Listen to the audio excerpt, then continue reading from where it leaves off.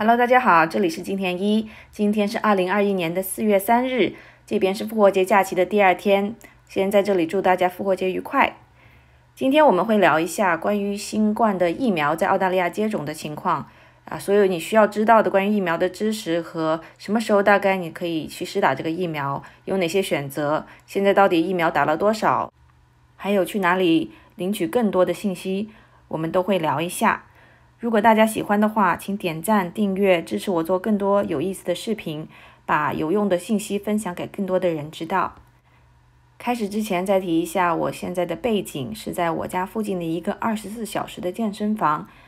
买了会员之后呢，就二十四小时都可以刷卡进入进行健身。因为今天聊的是健康相关的话题，我就把这个视频作为今天的背景，希望你们喜欢。废话不多说，让我们进入正题。在这个阶段，澳大利亚有两种疫苗是可以施打，一个是牛津的阿斯利康，一个是德国的辉瑞。两种疫苗里面，澳大利亚人会主要接种的是牛津阿斯利康这一款疫苗，因为这款疫苗已经在澳大利亚开始本地的生产。现在在国际情况下比较疫苗比较紧张，大家都有疫苗禁运啊，或者不让疫苗出口的情况，澳洲主要依赖的就会是自己本国能够生产的牛津阿斯利康这款疫苗。从今年二月二十二日澳洲接种第一剂疫苗以来，一个多月的时间到上周末，现在已经接种了五十四万一千七百六十一人次。那这里面有一些是接种了已只接种了一剂，有一些是已经接种完全了两剂。这两款澳洲现有的疫苗都是需要接种两剂的。现在放上来这张图表就列出了每一个州和领地现在施打的人数。最新的信息是在坎培拉，我居住的城市有一万二千四百三十人接种。坎坎培拉的人口差不多是四十万人不到，所以现在的接种率大概是百分之二点五。在其他的大洲，像维多利亚州，就是墨尔本城市的所在地，已经完全接种两剂的人数是一万八千四百一十三。在西南威尔士州，就是悉尼的所在地，现在完全接种两剂的人数是三万左右。澳洲的疫苗是分批施打的，最优先的现在施打的人员就是一些前线的工作的医护人员、养老院、残障护理院的工作人员及检疫和边境工作人员。这个批次已经施打完全，现在是在第一批里面的第二个小组，就是七十岁以上的成年人和其他的医务工作者，还有原住民，还有残障人士，还有一些高风险的工作者，包括国防、警察、消防、应急服务和肉类加工工人。那等这一批次完成以后呢，就会是五十岁以上的成年人，在第二批里面的第一组，还有原住民和其他的关键工作者和高风险人士会继续在这一个阶段也会继续施打。之后第二批的第二组就是剩下的成年人，就是所有的成年人。未成年人会排在最后面，因为至今为止的证据显示，未成年人在得到新冠之后会发展到比较重症的情况是比较稀少的，所以他们被排在最后。简单来说，如果您现在已经是七十岁以上了，那么您现在就可以去去参加施打新冠的疫苗，去跟你的医生去预约。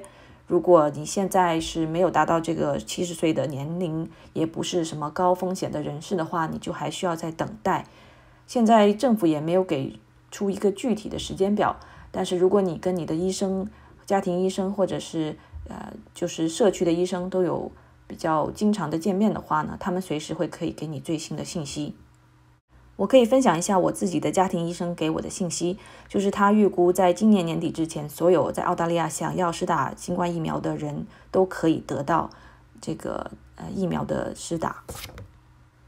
因为打疫苗这个事情呢，也是一个自愿的事情，所以肯定会有一些人不愿意去打，或者他想要观望一下，这都是可以理解的。毕竟新冠疫苗这个东西也是新出来。嗯，实验的时间比较短，很多人会有担心它是不是有一些风险。官方的最新建议就是这两款疫疫苗都是非常安全的。它们两个唯一不同的地方就是阿斯利康好像是之前做实验的时候采集的十六岁到十八岁之间的人群的样本非常的少，所以现在暂时不建议十六岁到十八岁之间这个人群去打阿斯利康。如果要打的话，可能是辉瑞会比较好，因为辉瑞它是在十六岁以上的人群都是没有什么问题。但现在因为澳洲主要是阿斯利康这款疫苗，而且年轻人也是排到最后面了，所以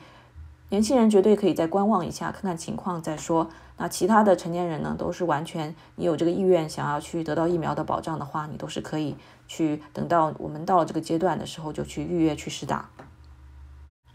最新的关于阿斯利康这款疫苗是有一些担忧，就是在欧洲出现了一些人在打了疫苗之后发生血栓的情况。虽然我不是医疗方面的专家，但是我去查了一些医生朋友在网上分享的信息，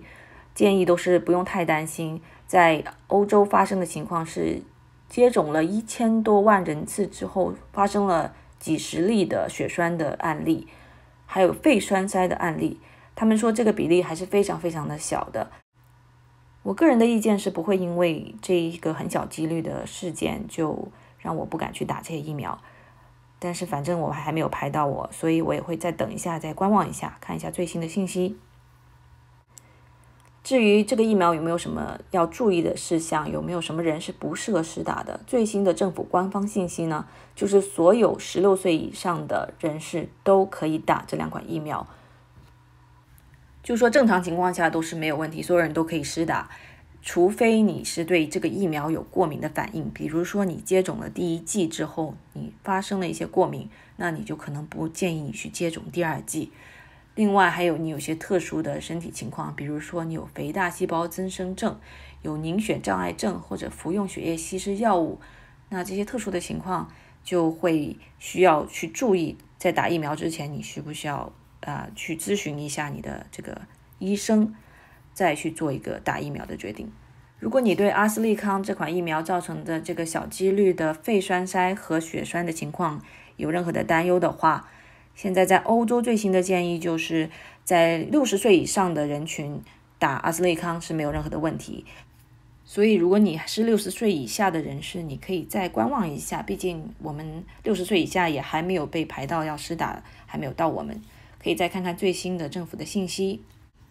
最后总结一下今天讲的关于新冠疫苗在澳洲施打的情况，澳洲是有两款疫苗，牛津的阿斯利康和辉瑞，德国的辉瑞。主力施打的是牛津的阿斯利康，之前澳洲进口了大概七十一万剂左右的疫苗，那在今年二月二十二日开始施打以来，至今已经打了五十四万左右。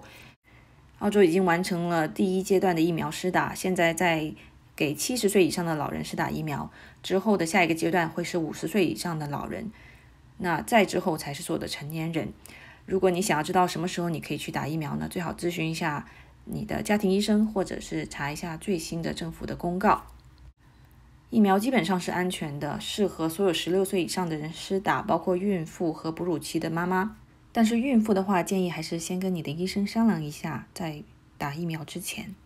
澳洲的疫苗也是完全免费的，你只需要跟你的家庭医生去预约，等他拿到了疫苗之后，就可以给你去施打。